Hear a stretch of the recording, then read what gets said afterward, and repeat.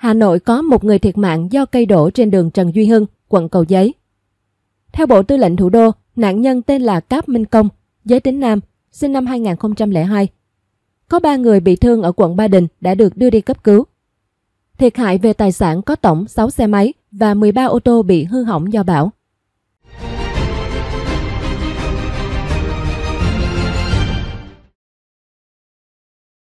Bão Yagi làm một người chết, ba người bị thương, 2.500 cây đổ, 17 trạm bơm mất điện tại Hà Nội. Tối 7 tháng 9, theo báo cáo của Ban Chỉ huy Phòng chống thiên tai và tìm kiếm cứu nạn thành phố Hà Nội, các quận, huyện đã di dời hoàn toàn các hộ dân sinh sống tại những khu vực không an toàn đến khu vực an toàn. Liên quan đến thiệt hại về người, Hà Nội có một người thiệt mạng do cây đổ trên đường Trần Duy Hưng, quận Cầu Giấy. Theo Bộ Tư lệnh Thủ đô, nạn nhân tên là Cáp Minh Công, giới tính nam, sinh năm 2002. Có 3 người bị thương ở quận Ba Đình đã được đưa đi cấp cứu. Thiệt hại về tài sản có tổng 6 xe máy và 13 ô tô bị hư hỏng do bão. Thành phố không có điểm úng ngập. Khu vực ngoại thành, mưa lớn làm cho 47 hecta diện tích lúa, 26,5 hecta rau màu bị ngập, 6.144,5 hecta lúa, 15,93 hecta rau màu bị đổ, 2,2 hecta cây ăn quả bị thiệt hại. Bên cạnh đó, đã có khoảng 2.500 cây xanh bị đổ, 5 hộ dân bị tốc mái nhà, lập tôm. Ngoài ra, có 17 trạm bơm tại các huyện Hoài Đức, Mỹ Đức, Chương Mỹ, Đan Phượng, Mất Điện đang được khắc phục. Hiện mực nước các hồ chứa nước chính trên địa bàn thành phố đang ở mức cao, nhiều hồ vượt ngưỡng tràn. Ban chỉ huy phòng chống thiên tai và tìm kiếm cứu nạn thành phố Hà Nội đề nghị các địa phương tiếp tục theo dõi tình hình thời tiết, thiên tai, tổ chức trực ban nghiêm túc, chủ động, kịp thời triển khai công tác phòng ngừa, ứng phó, khắc phục hậu quả cơn bão số 3 và ảnh hưởng sau bão. Đề nghị Tổng công ty Điện lực Hà Nội tập trung khắc phục các sự cố điện, đảm bảo cấp điện ổn định phục vụ nhân dân, đặc biệt đối với các trạm bơm tiêu thoát nước. Hậu bão số 3 ghi là lũ quét và sạt lở đất rình rập. Theo ông Phạm Đức Luận, Cục trưởng Cục Quản lý Đê điều và Phòng chống thiên tai, Bộ Nông nghiệp và Phát triển Nông thôn, bão số 3 vào bãi cháy, tỉnh Quảng Ninh với cường độ cấp 14, giật cấp 17, Bạch Long Vĩ, thành phố Hải Phòng, cấp 13, giật cấp 14. Đây là cơn bão mạnh nhất trong 30 năm qua ảnh hưởng trực tiếp đến các tỉnh Bắc Bộ, ông Luận chia sẻ. Theo thống kê sơ bộ, do ảnh hưởng của bão số 3, tại Hà Nội đã có 2 người chết, Quảng Ninh 3 người chết, Hải Dương 3 người chết. Còn thiệt hại về tài sản, những nơi tâm bão đi qua đều để lại những khung cảnh tan hoang, hậu quả nặng nề chưa thể kiểm đếm ngay trong ngày mùng 7 tháng 9. Trao đổi qua điện thoại, ở Quảng Ninh thiệt hại rất nặng nề, đặc biệt là hệ thống cây xanh, cột điện, nhà tôn, mái ngói. Bay hết, đến sáng ngày mùng 8 tháng 9 mới có thể kiểm đếm những thiệt hại này, ông Luận nói. Bão số 3 sau khi đổ bộ vào Hải Phòng, Quảng Ninh, khi di chuyển qua các tỉnh Hải Dương, thành phố Hà Nội cũng gây thiệt hại không nhỏ cả về người và tài sản. Hàng trăm cây xanh đổ gãy la liệt trên các tuyến đường phố, nhiều công trình, trong đó có hệ thống kính ở trung cư tại Hà Nội cũng bị gió giật vỡ. Theo Phó Giáo sư Tiến sĩ Mai Văn Khiêm, Giám đốc Trung tâm Dự báo Khí tượng Thủy văn Quốc gia, từ sáng ngày 8 tháng 9, khi bão di chuyển sâu vào đất liền và đi về hướng Tây, cường độ sẽ suy giảm thành áp thấp nhiệt đới và tan dần. Tuy nhiên, vẫn còn nhiều yếu tố nguy hiểm từ mưa lớn kéo dài, nguy cơ sạt lở đất và lũ quét. Ông Mai Văn Khiêm cho biết, trong bão số 3, một số nơi đã có lượng mưa lên đến hơn 200 mm. Ngày 8 tháng 9, các tỉnh khu vực phía Bắc, kể cả khu vực đồng bằng, trung du, miền núi sẽ tiếp tục có các đợt mưa lớn, có nơi mưa từ 150 đến 250 mm. Theo ông Khiêm, với lượng mưa như vậy kéo dài đến ngày 8 tháng 9, cảnh báo mức độ rất nguy hiểm về lũ quét, sạt lở đất có thể xảy ra. Cụ thể, nguy cơ rất cao xảy ra lũ quét và sạt lở đất tại các tỉnh miền núi phía Bắc, đặc biệt tại Quảng Ninh, Hải Phòng, Lạng Sơn, Cao Bằng, Bắc Cạn, Yên Bái, Lai Châu, Sơn La, Hòa Bình và Thanh Hóa. Giám đốc Trung tâm Dự báo Khí tượng Thủy văn Quốc gia tiếp tục nhấn mạnh đến yếu tố nguy hiểm từ hoàn lưu bão số 3 rất rộng, bao trùm cả khu vực Bắc Bộ và Bắc Trung Bộ.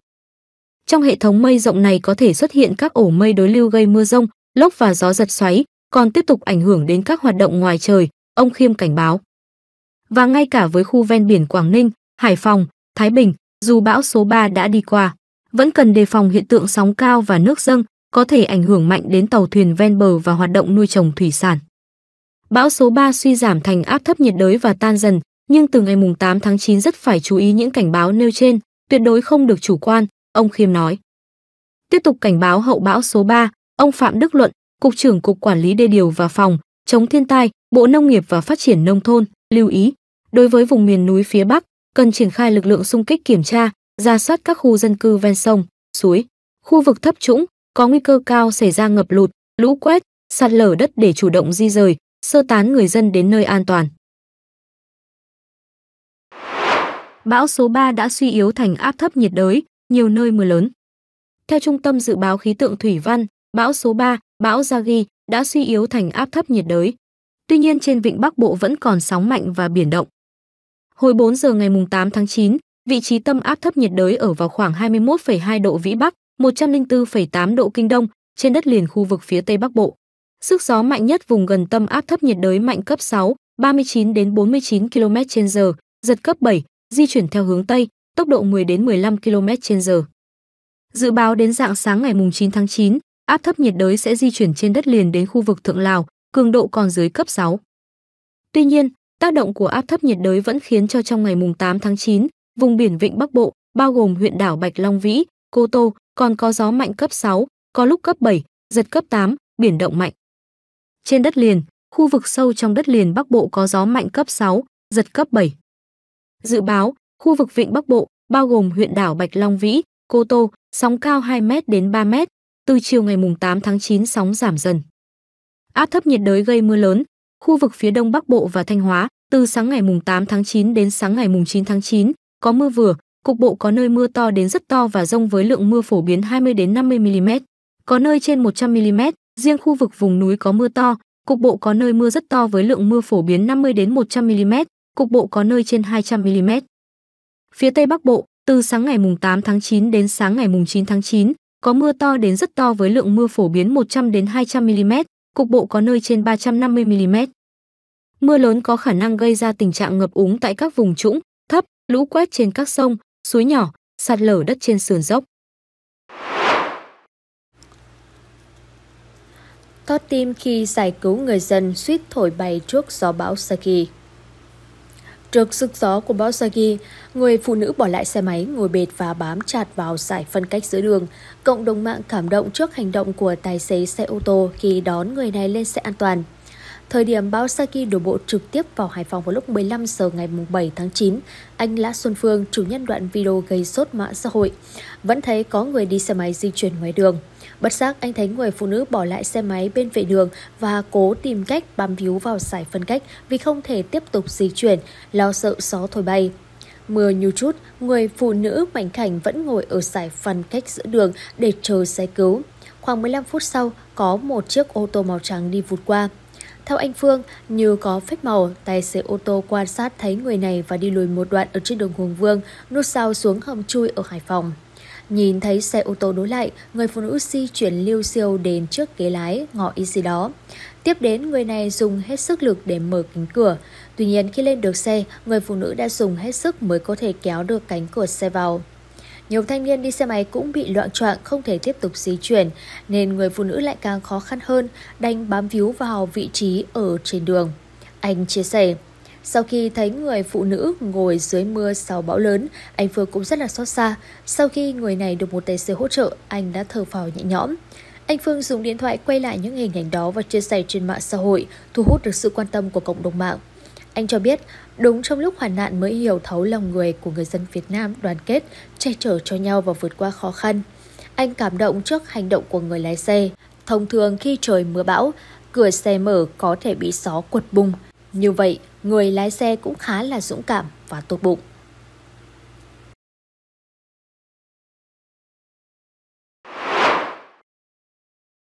Hình ảnh đẹp xe cứu hỏa của công an Hà Nội che chắn cho người dân vượt qua gió bão. Chiều ngày mùng 7 tháng 9, trong lúc đi làm nhiệm vụ trở về, thấy nhiều người dân khó di chuyển. Chỉ huy đội cảnh sát phòng cháy chữa cháy và cứu nạn cứu hộ công an quận Nam Từ Liêm đã chỉ đạo cán bộ chiến sĩ dùng xe chuyên dụng che, chắn cho hàng chục người đi xe máy qua cầu vượt Trần Hữu Dực. Cụ thể, vào khoảng 15 giờ 30 phút cùng ngày tại khu vực gần cầu vượt Trần Hữu Dực, phường Xuân Phương, quận Nam Từ Liêm, ba xe chữa cháy của đơn vị vừa trên đường đi cứu nạn cứu hộ trở về, phát hiện rất nhiều tài xế xe máy không thể di chuyển do gió bão thổi mạnh. Chúng tôi đã điều 3 xe chữa cháy di chuyển chậm, che chắn cho họ để đi qua khu vực cầu vượt. Trung tá đoàn Việt Bắc, đội trưởng đội cảnh sát phòng cháy chữa cháy và cứu nạn cứu hộ thông tin. Sau mỗi lần che chắn cho đoàn xe máy đi qua cầu vượt xong, những chiếc xe màu lửa lại vòng lại để tiếp tục che cho những người khác di chuyển qua đoạn đường gió bão. Đoạn đường xe phòng cháy chữa cháy che chắn cho xe máy đi qua dài khoảng 1 km. Có khoảng 30 xe máy được lực lượng phòng cháy chữa cháy che chắn, di chuyển qua cầu vượt Trần Hữu Dực. Nhìn những cái vẫy tay, người dân vượt qua gió bão an toàn, chúng tôi cảm thấy việc làm của mình có ý nghĩa, chỉ huy đội cảnh sát phòng cháy chữa cháy và cứu nạn cứu hộ bày tỏ. Để đảm bảo an toàn, chỉ huy đội cảnh sát phòng cháy chữa cháy và cứu nạn cứu hộ công an quận Nam Từ Liêm khuyến cáo người dân trong thời gian mưa bão cần hạn chế ra ngoài, tốt nhất nên ở trong nhà để tránh gặp những rủi ro không đáng có. Hoặc nếu có việc cần thiết phải ra ngoài, người dân không nên đi vào những tuyến phố có nhiều cây xanh lớn, tuyệt đối không trú mưa dưới gốc cây, tránh các khu vực cao hơn xung quanh. Ngoài ra, người dân cần đặc biệt chú ý khi phải đi qua các khu vực có công trường đang thi công, nơi có nhiều tấm tôn, sắt lớn. Cảm ơn quý vị và các bạn đã theo dõi. Đừng quên bấm đăng ký kênh để không bỏ lỡ những tin tức mới mỗi ngày.